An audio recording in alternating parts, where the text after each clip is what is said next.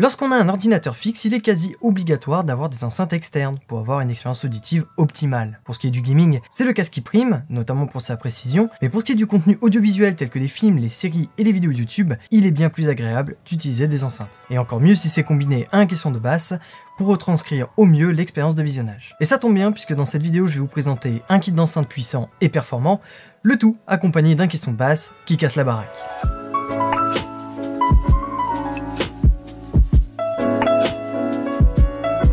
La marque Logitech nous présente un produit de très bonne facture ici, un design sobre et élégant, avec une association de plastique solide mat et brillant, aux couleurs noires et dorées, pour les contours des haut-parleurs larges de 10 cm. Comme la plupart des enceintes satellites, ces dernières sont sûrement des larges bornes permettant de couvrir le plus grand spectre possible, c'est-à-dire généralement entre 20 Hz et 20 MHz. Malheureusement, il n'y a aucune information à ce niveau-là. Au niveau du branchement, nous avons l'essentiel, un câble jack autonome non relié à l'autre enceinte, ce qui est déjà un très bon point. J'avais ce problème sur mon ancien kit, c'était infernal. Nous avons donc les deux enceintes à relier en jack 3,5 mm aux caissons de basse. Ce dernier, lui aussi en noir mat et bien solide, surplombé par une grille cachant le subwoofer. Derrière, nous avons toutes les connectiques, les entrées et sorties jack 3,5 mm, et c'est globalement tout. Pas de connectique superflu, ici on va à l'essentiel. Le tout est relié à une molette assez massive et qui permet de régler le volume sonore ainsi que la puissance des basses. Ce petit kit nous délivre pour une puissance totale de 60 watts et une puissance de crête de 120 watts, promettant une bonne puissance. Pour ce qui est du caisson, nous restons sur du 30 watts qui est largement satisfaisant. Il faut dire que ce kit se présente comme le haut de gamme des enceintes PC de la marque. Meilleur que ses petits frères Z313 et Z333, les Z533 se placent juste en dessous des Z623, ces derniers étant trois fois plus puissants que le kit présenté ici. Après plusieurs mois d'utilisation diverses et variées, entre montage, vidéo, gaming, musique et visionnage de séries et de films, je peux vous dire que ce kit est d'une sacrée claque. Avant ça, j'étais sur l'ancêtre du Z313, le Z312, et passer deux gammes au-dessus, c'est quelque chose. Mais avant de continuer, si vous appréciez mon contenu, n'hésitez pas à vous abonner, ça m'aide énormément. A la différence d'enceintes de monitoring censées donner un son neutre, ici le son est chaleureux et puissant, très puissant à tel point que je n'utilise jamais l'enceinte au volume maximum, je dépasse même rarement le niveau moyen. Vivant en appartement, les enceintes sont vraiment puissantes et peuvent très bien faire l'affaire dans une maison.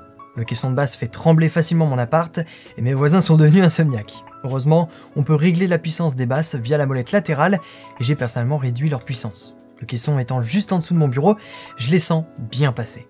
Pour ce qui est de la fidélité, je n'ai rien marqué de troublant, et je les trouve plutôt fiables. Je monte personnellement mes vidéos avec, car je considère que les gens auront ce genre de matériel pour visionner mon contenu. Et je trouve que mon son rend plutôt bien, même sur mes autres supports de visionnage, mais dites-moi si je me trompe en commentaire. En gaming casual, les enceintes font parfaitement l'affaire, que ce soit des jeux solo immersifs ou des jeux multi-casual, ces enceintes font très bien le travail. Si on passe sur des jeux plus compétitifs par contre, demandant une grande précision comme CSGO ou Valorant, mieux vaut se rediriger vers un casque pour ce genre d'utilisation, car évidemment là n'est pas l'objectif de ce produit, surtout réservé à une utilisation polyvalente et audiovisuelle. Et à ce niveau-là, bah, je n'ai rien à redire. Pour ce qui est du visionnage de films, de séries et d'écoute musicale, ces enceintes sont incroyables et elles remplissent parfaitement leur objectif. Si j'avais des choses à redire, ce serait lié au câble assez volumineux et pas assez long, notamment si vous faites du câble management de qualité.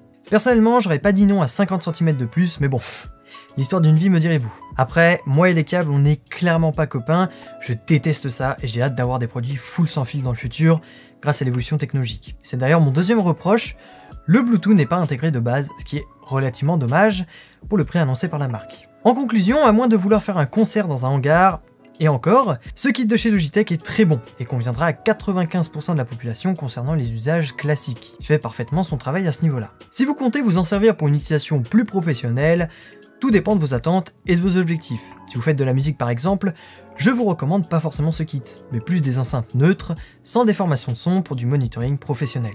Mais si vous comptez poster des vidéos YouTube visant à être visionnées sur smartphone ou ordinateur, ça peut largement faire l'affaire pour commencer selon moi, et c'est d'ailleurs ce que je fais personnellement. Si vous comptez utiliser vos enceintes pour une écoute cinéphile, je vous conseille plutôt la gamme au-dessus, proposant le THX ou encore les kits sur onde 5.1 comme les Z607 plus adapté à ce genre de visionnage et qui est dans la même gamme de prix que le Z533. Ce dernier est d'ailleurs annoncé à 140 euros sur le site officiel, mais on peut cependant le trouver aux alentours des 80 à 90 euros selon les périodes. Ce que je trouve assez raisonnable pour un kit complet, puissant et polyvalent pour vous convenir à 95% des usages. J'espère que vous avez apprécié cette vidéo, si c'est le cas lâchez votre mère j'aime, c'était Tech pour vous servir, over.